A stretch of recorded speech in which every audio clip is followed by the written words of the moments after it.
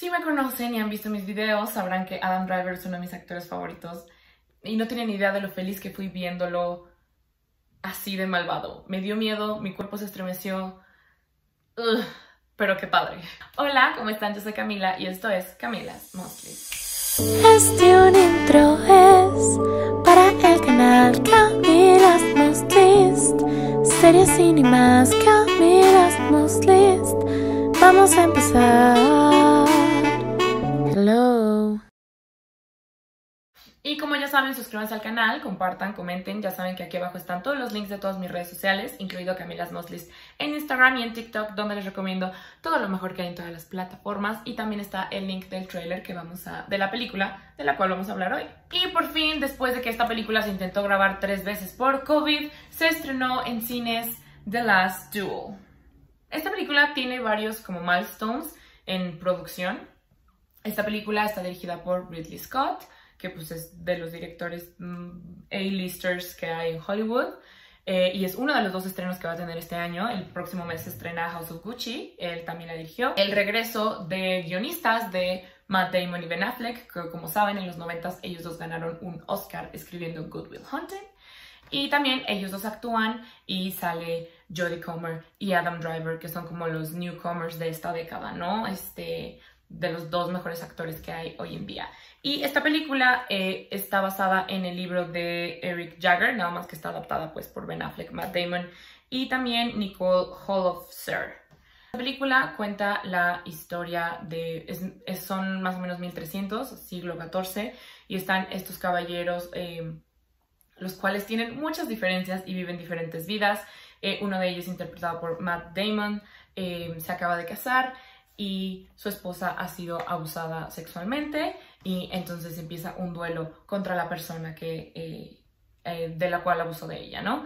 Básicamente va de esto. Eh, me gusta la manera en la que decidieron contar esta historia. Esta historia se cuenta tres veces. Tenemos la versión de Matt Damon, que es el esposo, la versión de Adam Driver, que es pues el violador, y la versión de Jodie Comer, que pues es la persona afectada aquí, ¿no?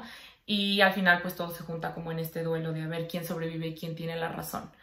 Ah, me gusta la parte de ver las tres perspectivas. Es muy crudo y muy feo de ver en momentos, pero está justificado pues por el tiempo, ¿no? O sea, es 1300, entonces pues sí, son cosas muy feas. Esta parte de que la mujer pues simplemente es un objeto o un acompañamiento, sí está muy triste de ver, pero pues 1300 y bueno, hoy en día, ¿verdad? Pero 1300. Básicamente es eso. Yo creo que lo más importante aquí definitivamente son las actuaciones de Adam Driver y de Jodie Comer. Hasta ahí.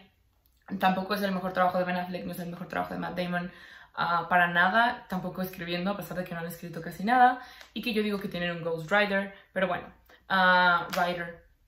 no Rider, Rider. Pero definitivamente Adam Driver, una vez más, eh, resulta ser el highlight de la película. Y Jodie Comer no se queda atrás. Jodie Comer, pues, es la actriz principal de um, Killing Eve y es fabulosa. Creo que eso es todo. Hay algo que me da un poco de tristeza con esta película y es que realmente no va a ser un éxito.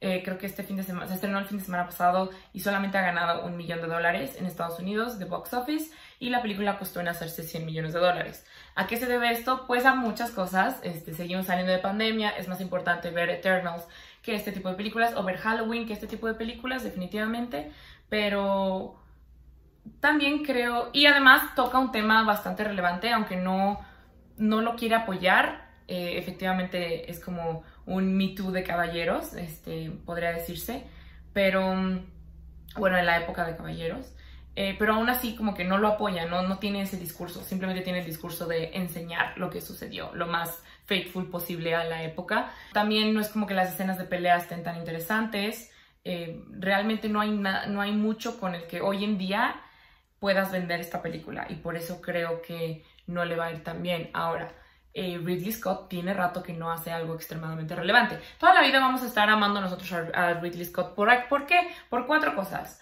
Alien, Blade Runner, Thelma Louise y Gladiador. Esas son sus cuatro óperas primas. Lo demás es bastante X. La última película que hizo fue eh, All the Money in the World. Y más que nada fue...